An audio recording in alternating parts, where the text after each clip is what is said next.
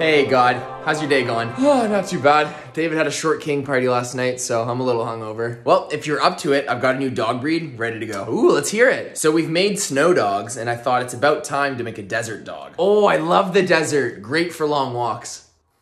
Sure.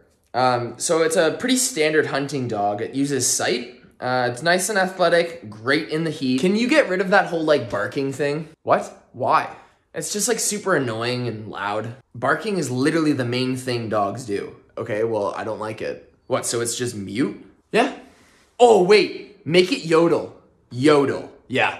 You know this is an African dog, right? What, so Africans can't yodel? Not if it's a dog. Yo, what's your problem? Why are you gatekeeping yodeling? Okay, fine. Anything else you wanna add? Make it clean itself like a cat.